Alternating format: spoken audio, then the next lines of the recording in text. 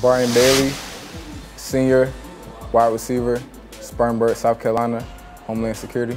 I think I want to be an intelligence analyst for the government one day, and that'll probably be my dream job. I think growing up, I watched a lot of crime shows, and that basically drew me in to want to pursue that as a career further, further on in life. The passion I have for the game is uh, tremendous. Uh, you get so much out of the game of football from the lessons and everything all around, and it's just a great experience.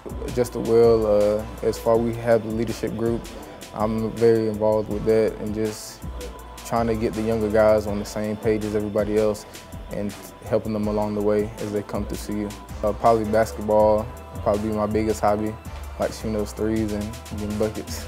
Man, it means a lot to be a fighting Camel. You got to take it with pride and when you're fighting Camel, you have to know you got to represent uh, Campbell University all the time, wherever you are.